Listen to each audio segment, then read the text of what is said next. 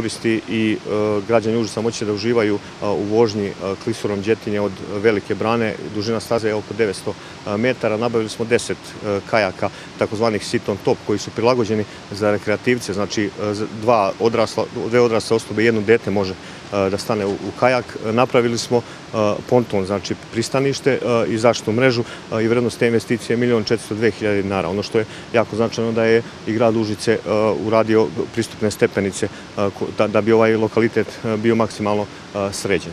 Inače, ove aktivnosti deo su projekta unapređenja turističke infrastrukture u regiji Zapadna Srbija koje finansira Ministarstvo trgovine, turizma i telekomunikacija i mogu da kažem zaista da imamo odličnu saradnju sa Ministarstvom. Svake godine nam se odobravaju kvalitetni projekte na osnovu naše aplikacije i naravno da ćemo u narodnoj godini ponovo konkurisati. Mislim da je ovaj sadržaj jako značajan kao jedna novina u turističkoj pondi. Ceo ovaj potez u klisuri reke Đetine sa neolitskim naseljem čije je izgradnja u toku sa rekonstrukcijom starog grada i sa ziplajnom koji je od ove godine počeo da radi, sigurno će u narednom periodu, uveren sam, privući još više turista u naš grad.